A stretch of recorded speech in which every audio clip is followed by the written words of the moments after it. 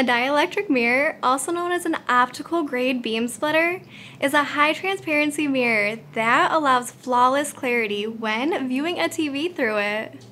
When the TV is turned off, it vanishes and all you see is the mirror. In this guide, I'm going to take you through how to make a mirror TV, how to frame your television, and a full list of parts that you'll need to successfully complete your project. If you're looking to make a high quality mirror TV and want to save a ton of time on your project, you're going to love this.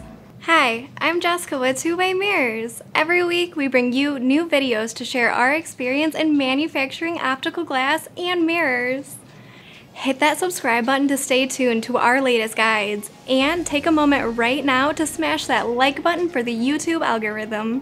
Why use a dielectric mirror?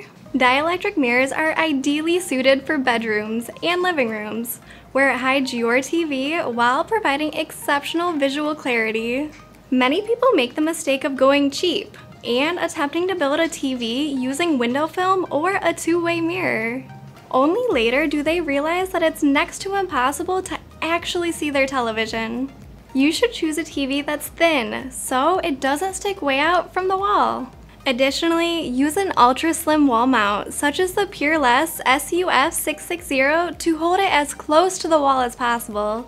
You'll want to measure the overall size of your TV, using a tape measure or the specs from the manufacturer. This will be the best size to order the mirror to. Your frame will fit over the mirror, securing the mirror to the television. Z-bar brackets are added to the back to hold it tight. Okay, that takes you through the Mirror TV project. I've left you all the information down below to our step-by-step -step guide, which goes into a ton of detail about every part that you'll need and how to use it. If you're looking to skip the DIY and order a full system, you can find it on our website, twowaymirrors.com. Until next time, I'm Jessica with Two Way Mirrors and I'll see you in my next video.